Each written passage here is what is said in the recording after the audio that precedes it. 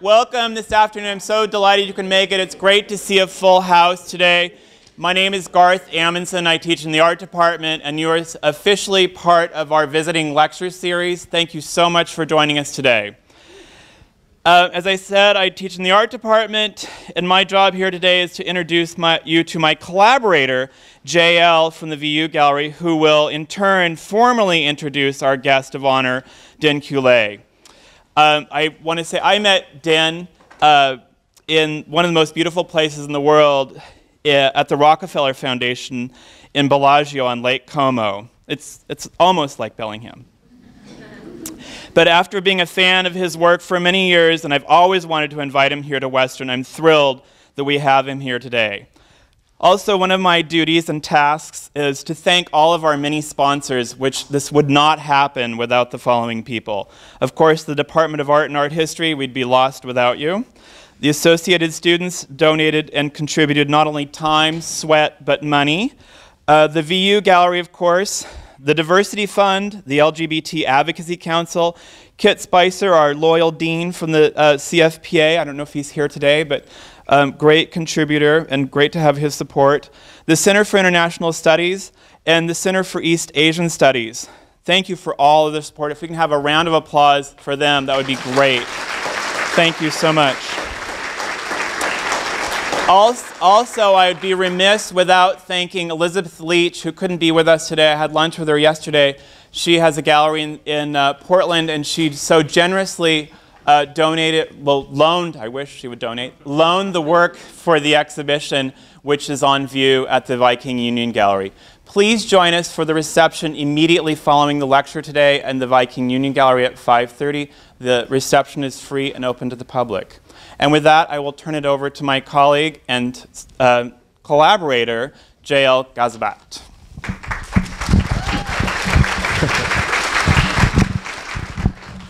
Thank you, Garth.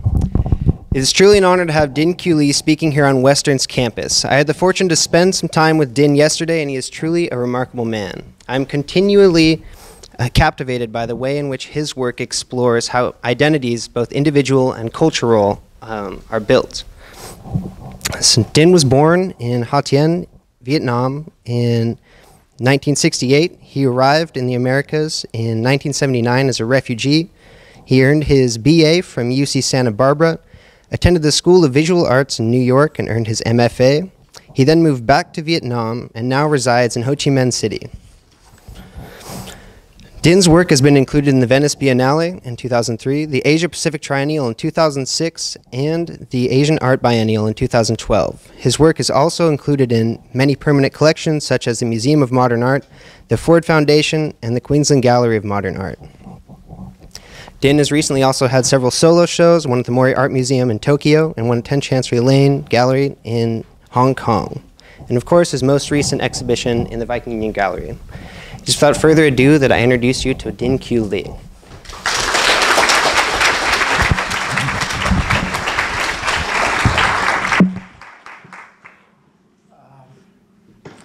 Well, first of all, thank you very much for coming. It's quite beautiful out there, so I'm sorry you have to be here. um, thank you very much, Garth, and the school for inviting me here. Um, I, I, live in Vietnam, so uh, it's really kind of strange sometimes uh, to think that people actually know what I do. Uh, I'm very, uh, most of the time, uh, I'm completely uh, sort of away from the art world. Um, when, when Garth uh, and Pierre was in uh, Bellagio, and they said that they know of my work, and I was like, what? so so it's, it's always really nice to be, to, to know that there are people out there in the world follow what I do. Um, but living in Vietnam also have its own perk. Uh, I'm so, in many ways, so far away from the art world that uh, it leaves me a lot of freedom, a lot of uh, room to sort of work and not feel the pressure of the art world all the time. Um, which is uh, a luxury, I think, today uh, with the, uh, you know, the biennial, the triennial, the art fair are constant uh, um, demand on you as an artist. Um, and so uh, it's amazing that you can actually have a career living in places like Vietnam where there's no, not really much contemporary art, uh, and it's still a communist country. So uh, anyway, so that's sort of the context of where I am. Um, I will talk a little bit about some of the work over the, the years I've done um, and the journey to get to where I am today. It's, uh, it's, a, it's kind of an interesting journey. And I was um, telling Quentin today that uh, uh, most of the time when I talk, I'm, or when I'm uh, attending a talk by another artist, I'm always interested in how an artist could go from point A to point B rather than about the work themselves. Because I think that journey is very interesting and is informed uh, the work and, and, and it's, um, it's that journey that I'm kind of always curious how uh, what an artist had to do to get to, you know, from one place to another. So, um, so my work was sort of kind of focused on, on, on that journey and how it get from, you know, I, I was here in 19, in 1990, I guess in 1990, uh, 1989 when I finished my undergrad. and pretty much starting showing pretty much uh, in 1989, and I was quite young at that time, um, to giving it all up, going back to Vietnam, disappear for a while, and then the art world sort of dis- sort of discover me again. And so uh, I will talk about all that. Um, so starting with this work, this is 1996. Starting, um, I have moved back to Vietnam now, uh, a couple of years now. Um, I was here, I did my, my graduate uh, at SVA in 19, uh, I think I finished in 1991. And I was showing, uh, I was picked up by a gallery, pretty much while I was in graduate school. Um, but I, I was 21 years old. I was way too young for, I was not ready for that craziness. Um, so uh, I finished school and then I pulled out the gallery. I thought I moved to Boston. Uh, that would be um, far away enough, but it was not enough, so I moved back to Vietnam. Uh, and that was the 90, so from 97, 94, 94 to 96, uh, I have to go back and forth between America and Vietnam um, because um, um, I, I, didn't know how to earn a living in Vietnam yet. Uh, so 90, uh, until 97, then um, another gallery in America, Elizabeth Leach, uh, in Portland, Oregon, picked me up and they she starts selling, so I was able to live in Vietnam. But um, the journey have been interesting because uh, when I was here, um, I was looking a lot of learning about the history of the Vietnam War because so much of it has influenced the way uh, the world or America see me. And, um, but uh, I think, so when I I was doing a lot of kind of looking at all that history, um, and then decided to move back to Vietnam and continue to do that research. But uh, it was quite difficult to start because I think it was too close. Uh, and so what I did was I went around it. And so the, the, the first work when I moved back to Vietnam I, that I did uh, was Cambodia Splendor and Darkness.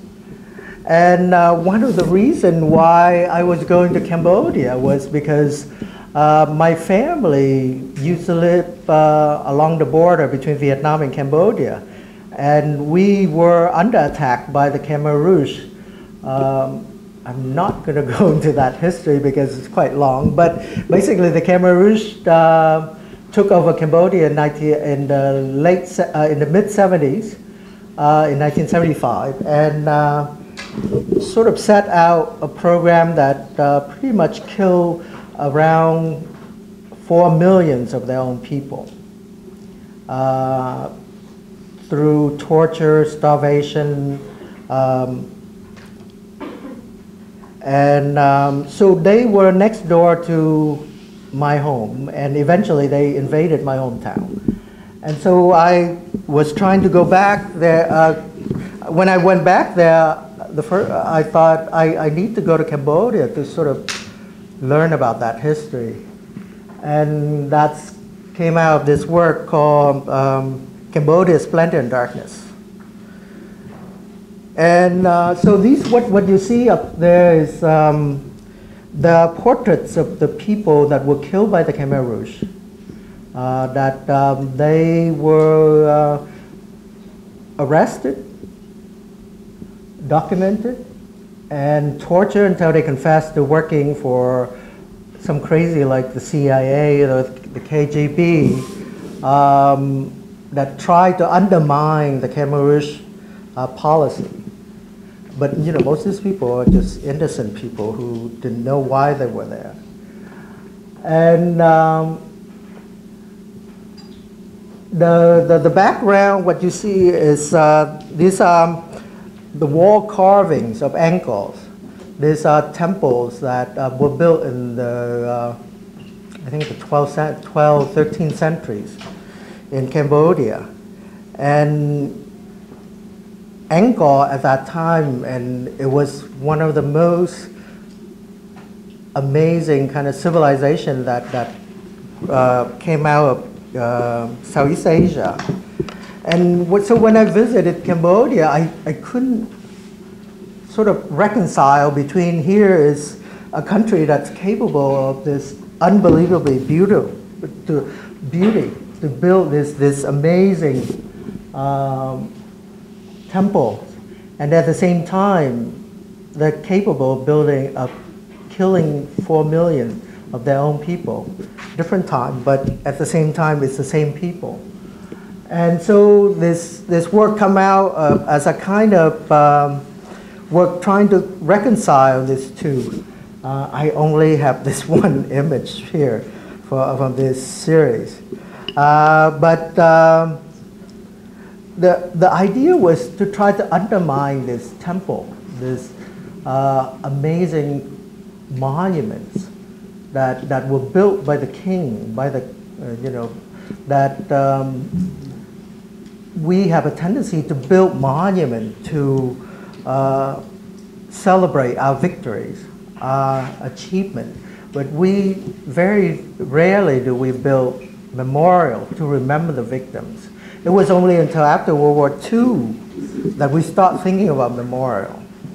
And so this, this work, there's a, series of this work that are uh, create as, as a way to undermine this monument, this temple that were built by the kings. Uh, so the, maybe I should talk a little bit about the techniques. Uh, the photographs are cut into strips. There are two photographs. So you have the wall carvings of Angkor. And then you have the portraits.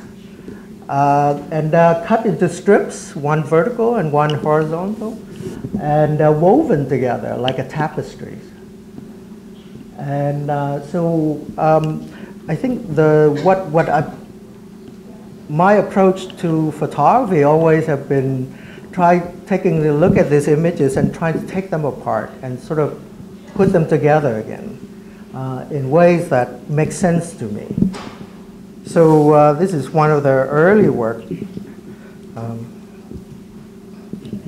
and so finally coming back to Vietnam, after a couple of years, and I, I felt like I sort of can now deal with Vietnam uh, and that history, um, the, the, Vietnam War history. Um, I think when I first moved back, the subject was so large that I didn't know how to enter it. I didn't know how to deal with it. Um, and so it took a couple of years. And um, I think one of the earliest project I did was uh, this public project uh, that uh, was done um, in, in the city. Uh, now, when I first moved back to Vietnam, there's all these um, people begging for money, and they have some sort of uh, physical deformities. Uh, and this is really early during this time. Um, there was not much help for these people. So I didn't know why there's so many deformed people on the street um, begging. And eventually found out that you know most of these people were uh, victim of Agent Orange. Um, either their parents uh, uh, or their grandfather were part of the war and they were exposed to Agent Orange that were used by the US government during the Vietnam War to defoliate the jungle of Vietnam so they can see the communists underneath uh, the, jungle, uh, the, the, the, trees. And um, Agent Orange, uh, one of, is one, the, one of the byproduct of Agent Orange is the dioxin. And a, a pinhead drop of it can, if you expose it, it can damage you on a genetic level. So it, it go into your system, it actually change your, your genetic makeup and you pass on to your children and your children pass it on to your grandchildren. So it doesn't stop. It sort of keeps going. And I think uh, now people are able to track uh, uh, Americans, actually, American uh, uh, vets who have grandchildren now that have uh, that experience that have deformity as a result of their exposure during the Vietnam War as well. So at that time, the Vietnamese government doesn't want to talk about this um, because they didn't know how to talk about it. Number one, they didn't know how to talk about soil contamination. They didn't know how to talk about this issue without affecting Vietnam uh, kind of emer emerging ex uh, cultural export. We, at that time, I think, become the third largest rice exporter in the world, as well as uh, second or third largest coffee exporter in the world. So to talk about soil contamination, it might affect our cultural export, uh, agricultural export. So, um, so the government doesn't talk about it.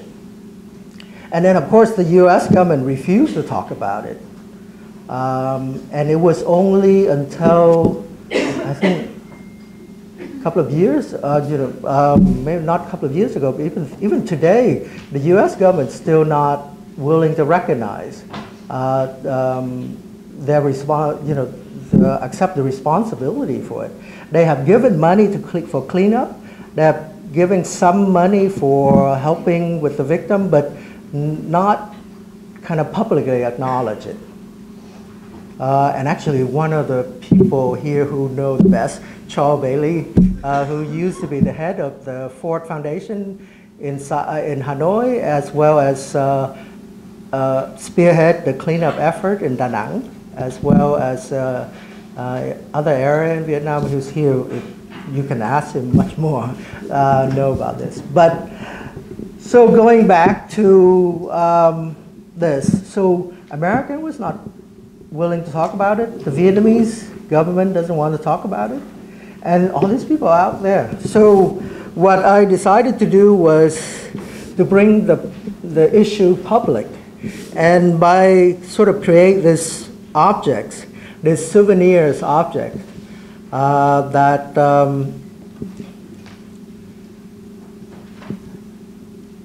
based on the, the, the and open a kiosk. It's uh, this is a little kiosk in the open market, and um, sort of sites tries to sell all these objects for a dollar.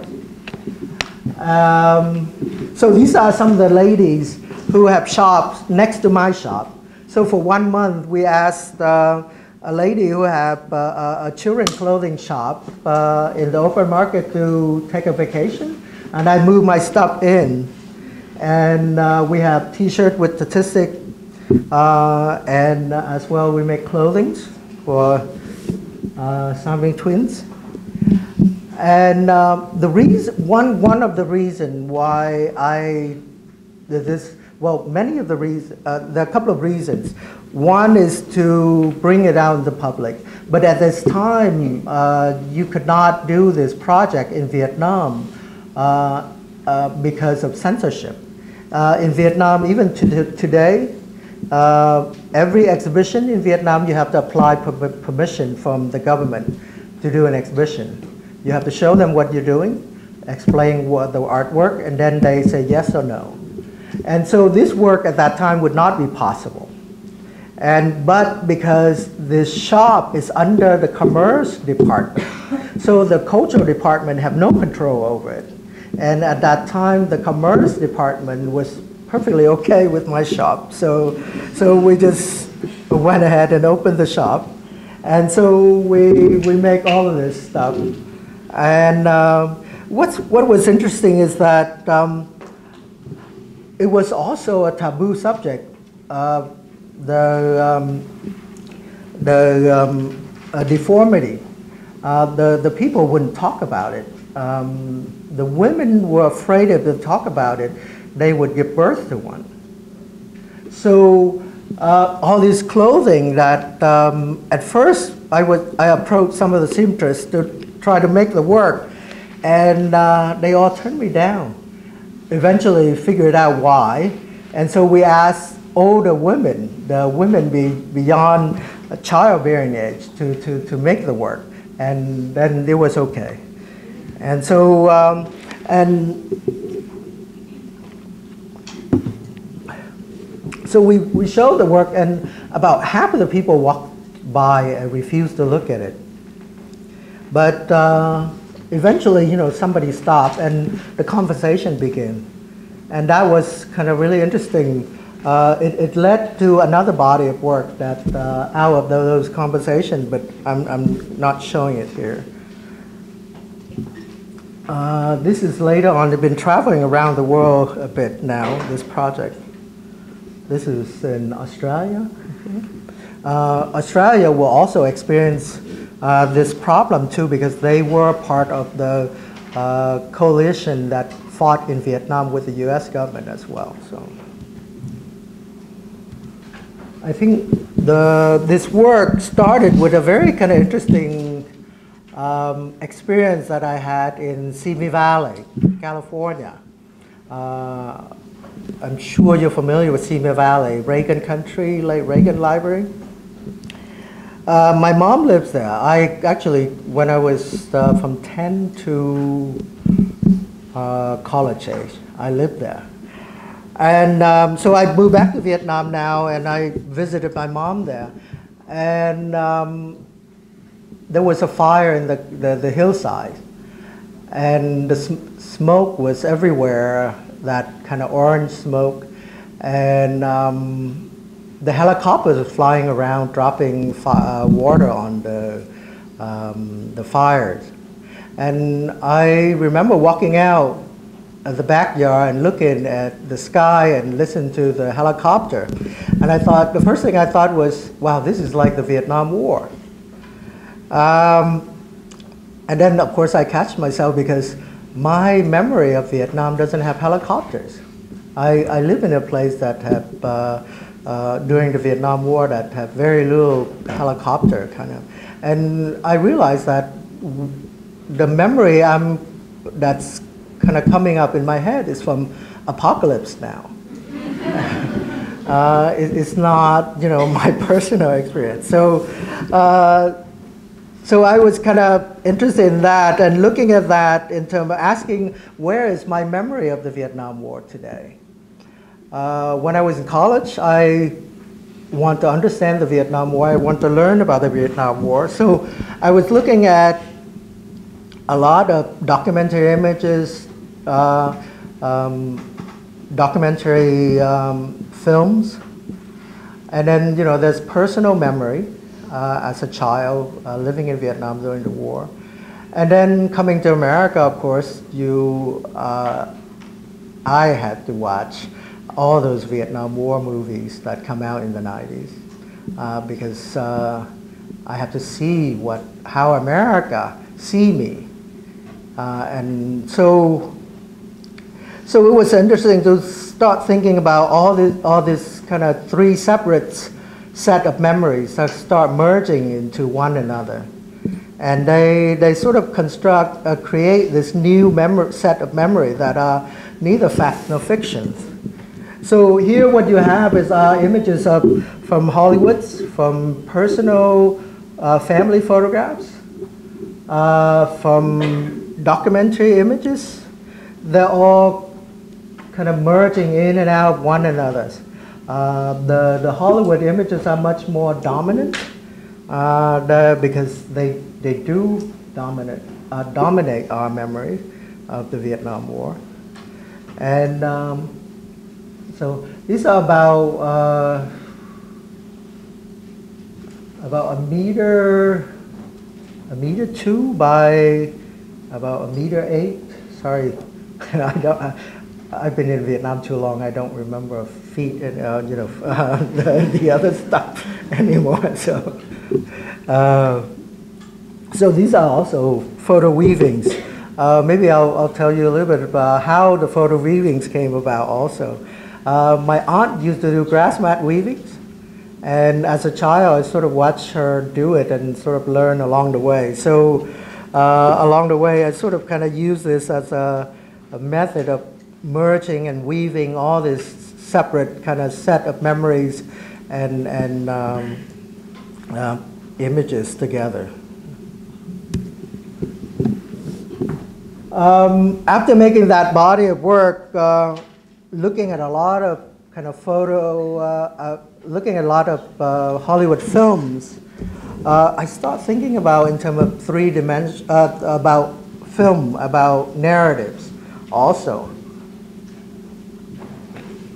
But I think maybe before that, even before that, um, I uh, also started, um, um, I set up a nonprofit organization in LA uh, to support uh, Vietnamese, young Vietnamese artists.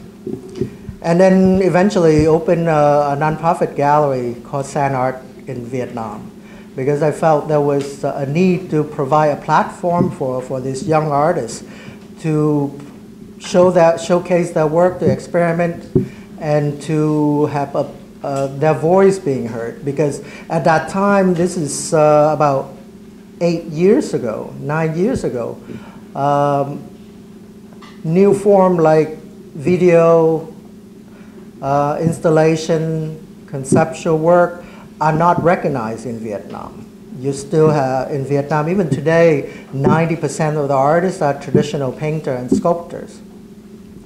So I want to create a platform where to allow, to give these young artists a place so they can speak and they can, and I think operating that place for about three years now, we, we have a full-time director running it now. Uh, it changed the way I work also um, the idea to create platform to give a place for people to speak, uh, for their voice to be heard, kind of changed the way I'm thinking about making work again. So with this work, what I end up was to create a film with uh, with these objects uh, that um, this uh, this helicopter was made by these two guys. So maybe I'll, I'll tell a little bit stories about um, so these two guys, there are far, one is a self-taught mechanic and one is a, um, a farmer. The tall one is the, the self-taught mechanic. And uh, he, they have a shop fixing farming equipment in the middle of nowhere. Um, I found out that they, they make these crazy helicopters. And um, so I went there to find out why.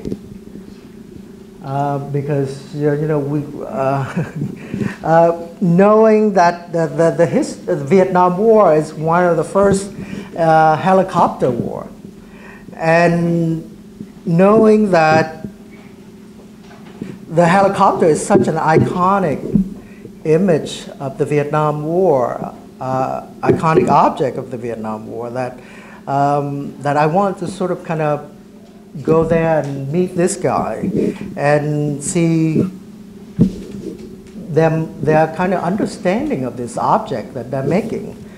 And so so this is one of their first helicopter made from scratch. It's actually a life-size helicopter. We're not talking about some small toys here.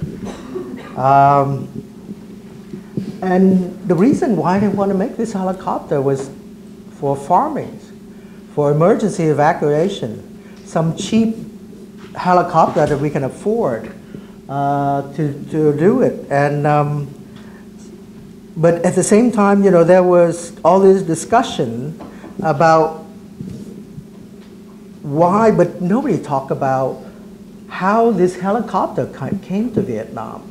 How did they, you know, how did it enter this guy's mind? And so uh, this was uh, installed at MoMA. Uh, they actually own this helicopter and the film now.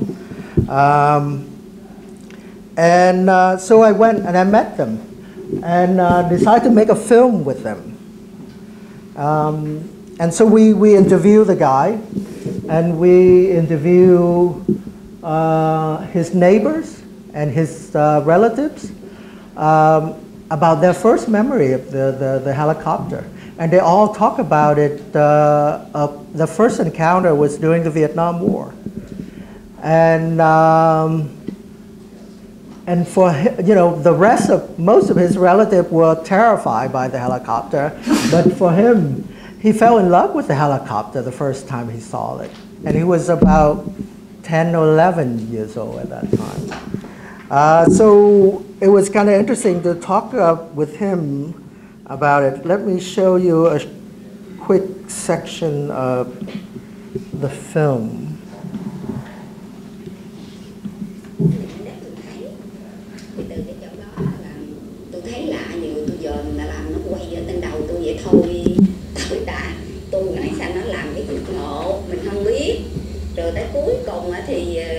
Tôi thấy nó quần sấy tóc mình nhảy dựng lên lên rồi tôi mới nói không lẽ là cái như vậy là ở cái vùng chiến á vậy nó bắn người? Thành thử là tôi lên tôi cười So what what I decided to do in this work was to kind of provide a platform for them to speak.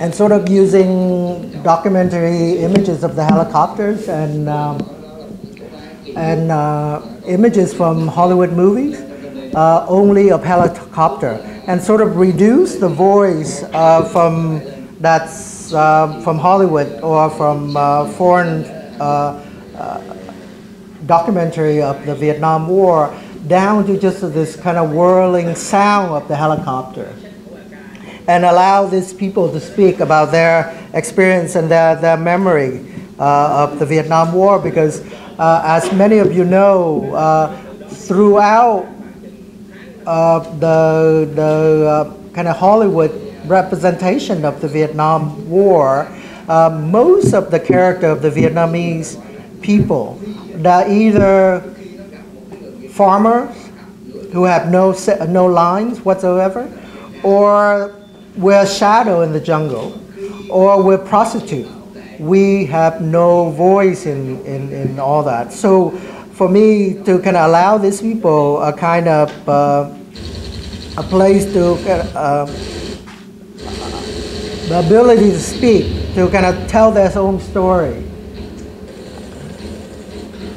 So the, the film is basically going from their memory of the Vietnam, uh, the their first memory of the helicopter and their encounters with the helicopters in the Vietnam War to today what their idea of the, of the helicopters.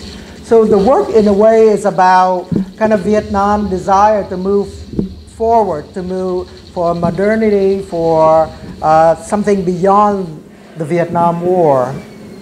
So.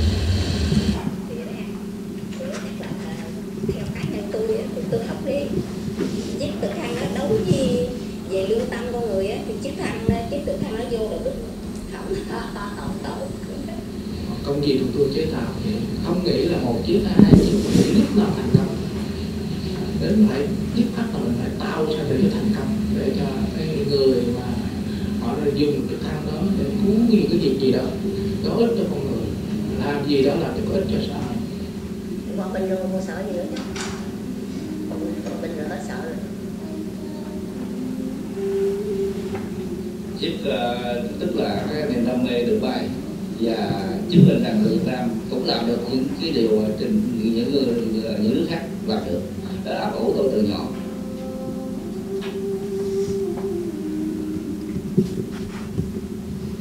Trường trường bay thấp thì mưa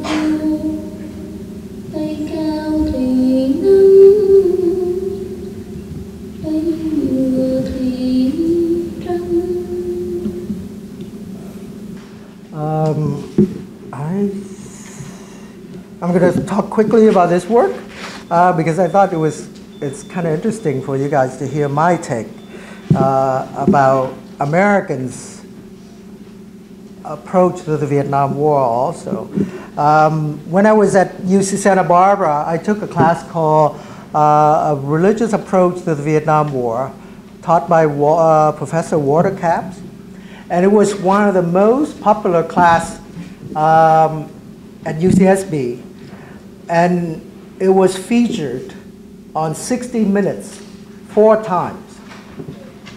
That's how crazy this, this class was, because it was the first time that America is looking at the, at the Vietnam War from a kind of personal stories by the Vietnam vets, by the American Vietnam vets. So every week they would have um, American vets come in and talk about uh, his experience in Vietnam. And it was extremely emotional. The whole class would cry. And um, I was sitting there and I'm like, where are the Vietnamese? uh, you know, it's called the Vietnam War. so uh, I got fed up and I went to uh, the professor and I asked him, where are the Vietnamese and where are our stories? Um, and he was a little bit embarrassed. So he said he couldn't find any. And of course I said, well, you know, you know, there's a million Vietnamese migrated to America after the Vietnam War, so there got to be somebody. Uh, anyway, so that, that was quite an interesting uh, experience for me. And I think that sort of also led me to kind of looking at the Vietnam War and trying to provide a different perspective of the Vietnam War over the years. But I think what was really interesting for me was the student in that class. They were there not to learn about the Vietnam War. They were there to learn about their father. Many of them were children of Vietnam vets. And they didn't understand their father after he came back from Vietnam. So I think they were there to sort of try to understand him. And so out of that experience, I make a work. It's called From Father to Son, A Rite of Passage. Um, and this is just a, a kind of a, a combination of, um, basically I took two films, Platoon and Apocalypse Now, and strip it down just only with the two main characters, uh, Charlie Sheen and Martin Sheen on the other one. Uh, and I thought it was kind of interesting the how Charlie Sheen followed his father's footsteps uh, 10 years later and, you know, star in an, a Vietnam War movie like his father. Um, and in a way, I think many, you know, in America, there's talk about tradition of going to war. Your father go to war, uh, to, uh, you know, your grandfather go to World War II. Your father go to uh, um, Korea War, and your son go to uh, another war as a tradition. But I think what happened really is this children who go to war in order to kind of sort of understand, trying to learn what their father went through in the previous war.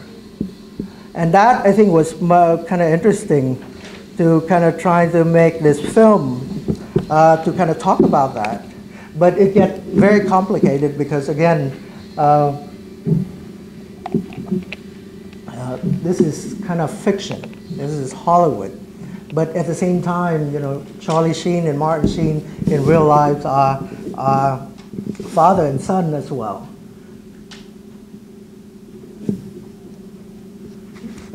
Uh, the film is showing in the gallery, so uh, you can catch it there. When I was doing research for the, uh, uh the farmers in the helicopter, I ran into some footages of the last day of the Vietnam War. And it was kind of, for me, it was the quintessential image of America misadventure in Vietnam. Basically, the footages were a helicopter crashing into the sea, um, helicopter being pushed off the aircraft carrier. Um, and this is the last day of the Vietnam War. So as the communists approaching um, the big city like Saigon and Hue and Da Nang, all this helicopter that American brought to Vietnam were escaping into the South China Sea looking for U.S. aircraft carrier to uh, um, to, uh, to land and to escape from this um, um, the, the advancing communists.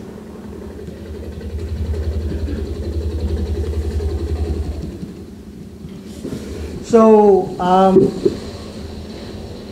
now, if you know that, you know, as I mentioned before, the um, Vietnam War is first helicopter war, but America brought 5,000 helicopters to Vietnam uh, to give them the military advantage that was going to win them the war. This, this, this you know, technology advantage that, that they were counting on to win the war. But in the end, you know, it didn't happen. It, um, they lost. And at the last day, all this helicopter had to be dumped into the South China Sea.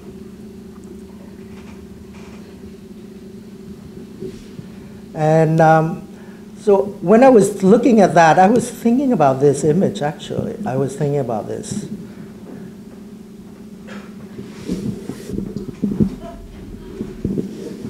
Now, Native Americans, uh, before the arrival of the horses, to, to hunt the buffaloes, they have to outsmart the buffaloes. The buffalo was stronger, faster than the Native American, uh, the, the Indians, so they had, they, there was no way they could catch these things.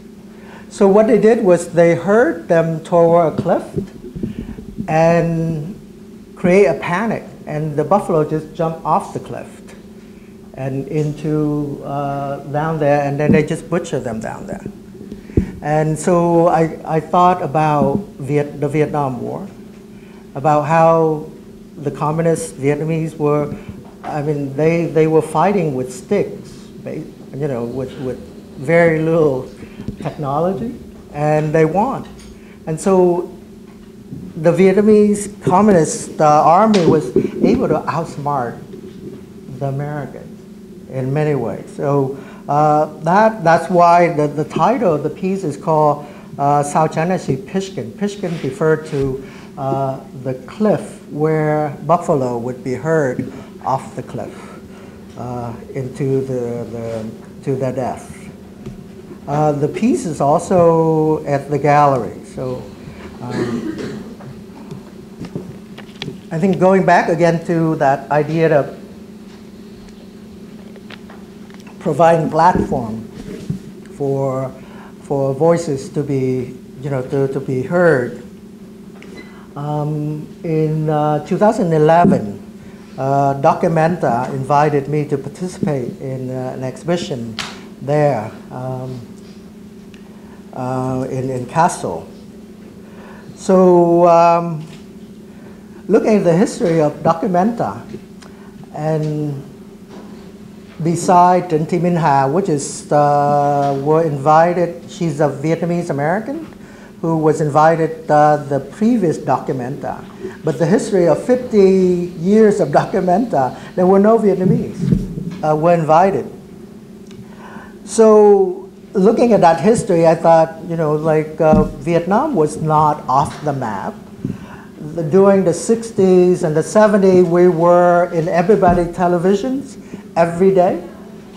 And yet, the curators of this big, giant, important exhibition. Never thought of inviting a Vietnamese to one of this um, event, while everybody else who were invited during that time, the 60s and 70s, uh, were making work about the Vietnam, about, about the Vietnam War, but uh, the curators into this kind of exhibition never thought, well, maybe we should allow, you know, we should invite the Vietnamese to tell their story instead of allowing, you know, artists from South America, North America to talk about the Vietnam War.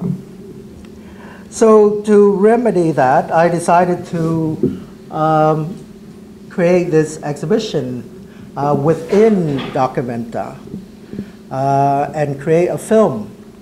And I've been collecting this drawing, this war drawings by senior Vietnamese artists who fought on the communist side during the Vietnam War.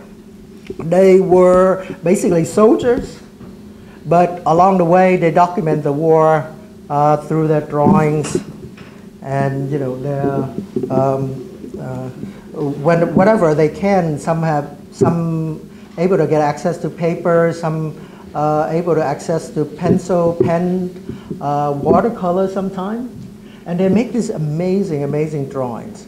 But at the same time, uh, there's no violence, there's no death, there's no suffering, and I was curious. I, you know, I'm like, were there a directive from the communist government say you can't show any of that? Were there a kind of agreement somehow? And so I, I set out to interview this artist and create a, um, a kind of exhibition around it with the film of them sort of trying to uh, trying to explain what it means to be an artist in, in this kind of environment, in this context. Uh, and so we, uh, so these are all the artists that uh, were part of this project. Uh, so we went, uh, we went to Hanoi, Saigon, Hue, and we interviewed as many of them as possible. Um, they were all old, uh, very old. Um, some of them die, like one of them, one passed away a month after we interviewed her. Uh, two already passed away, and so we couldn't interview. Uh, and uh, so, uh, but eventually we were able to interview enough people, uh, enough of the artists to create this installation and acquire drawings from their, their own personnel collection and uh, created an installation at uh, Documenta. Um, I'll show you a little bit about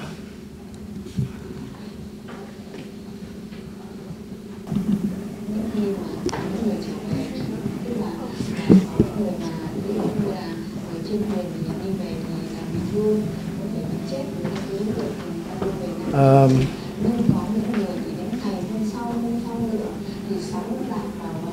I'm gonna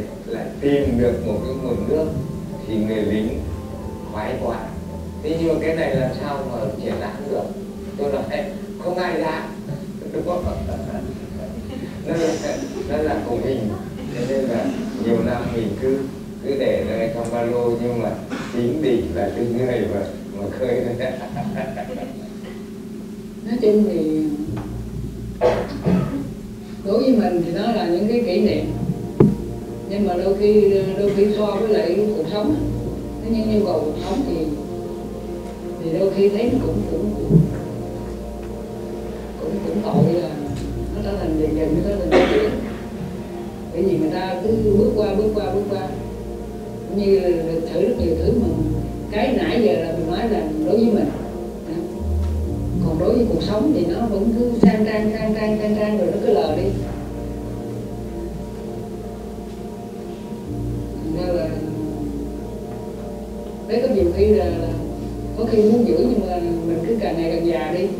Người ta nó càng ngày càng mục ra.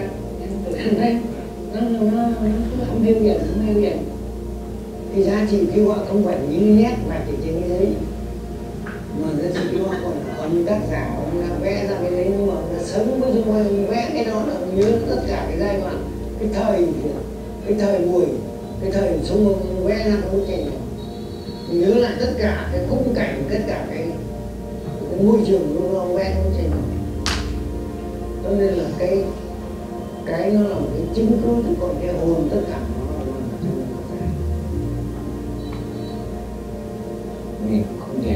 chiến tranh. Nó là thế này nó là thế khác. Hay là chiến tranh đã nói đến chiến tranh thì không có cái đẹp. Mà đã nói đến, đến chiến tranh thì làm sao có cái đẹp được. Thế nhưng mà chính câu hỏi của bạn lại, lại đẻ ra một cái là nhưng mà người nghệ sĩ thì trong cái cái cái, cái ác cái, cái nảy nở vẫn nhìn thấy cái mầm thiện của nó. Đúng không? Đấy, chính là là cái đó chứ không phải là là chiến tranh trong chiến tranh này làm sao mà nó lại vẫn có được cái vui được. Chiến tranh là tàn phá, là mất mát, là chiến thắng nhưng mà không thể có cái vui được. Thế nhưng mà cái việc của chúng ta làm là phải thấy cái là cái ác ý hội ấy đang nảy một cái mầm thiện. Thì chính. Cái, cái đó mới là cái việc của anh em mình phải làm. Đấy. tại sao trong các tác phẩm người ta không muốn thấy có xung thế như thế có nghĩa là trong cái ác luôn luôn vẫn nuôi một cái mầm là cái cái cái mong ước của người ta về một cái đẹp hơn về một cái không mất mát hơn không chết chóc nó phải có chứ. Nếu không có thì không có không có ai đấu tranh cả. Đấy. Có một người tình người nữa là anh gì vì sao bị mù đấy. Lê lưu anh ta chỉ học được có một năm tình nguyện đi trên đó. Sau lúc tiến quân vào Sài Gòn, anh ta ngồi trên cái xe tải ngồi trên cái xe tăng chả biết bị nước bắn thế nào? Hỏng hai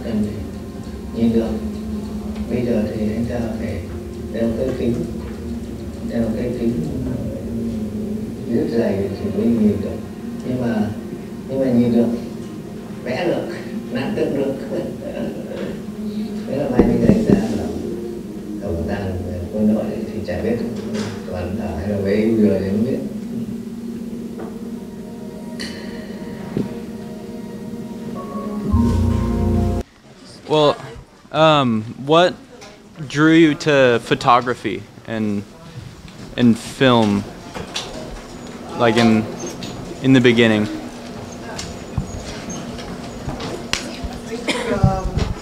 What was the question again? Can I repeat it for you? Yeah. Um, what what drew him to photography and film? What drew you to photography and film is the question, sorry. Um, I think when I started out, photography was a medium that I could sort of identify with. Um, you have, you know, painting and sculpture, which is a very long history of the West. Uh, and I think photography was relatively new, and it was a sort of global event in a way. It, it spread quite fast around the world. And I think maybe that's why I felt, uh, I, I felt it was easier for me to connect to it. Uh, so one, but uh, secondly, uh, I was looking at a lot of Vietnam War photography as well. Um, so I was, uh, well, I start school not as a, as a uh, artist. I was uh, computer programming for about a couple of years. So, uh, so my, my, my interest in uh, photography even started before uh, they decided to switch my major to art studio. Uh, I was looking at photography. Uh, I was looking at how uh, Vietnam was being you know, represented through these images. Um, so I think that and the fact that it's a relatively contemporary medium, that those two things that make it, for me, uh, easier to kind of uh, approach somehow, to identify with, to be able to make it sort of, uh, to, to able to, in a way, claim it uh, uh, for my own. But even then, you know, it wasn't enough. Uh, I, you know, I have to kind of bring in the kind of photo weavings uh, as, again, something from my own background, my own history, to make it feel like I have some sort of uh, um, connection to this, this medium as well. So, uh, yeah, so I hope that Oh, yeah. answers. Gotcha. Um, your art has such incredible context and meaning for so many people. I was just wondering, who do you make your art for? Yeah. No, because you know, I, I, you have to understand, I left Vietnam when I was 10, and all these crazy events took place, and sort of changed my life. You know, like growing up in Vietnam, I never thought I would somehow end up in America, and then you know, coming back to Vietnam again. Uh, so I, I left Vietnam without understanding what happened And so over the years, it's really for me to learn. The work, the research I go put into this project is about learning.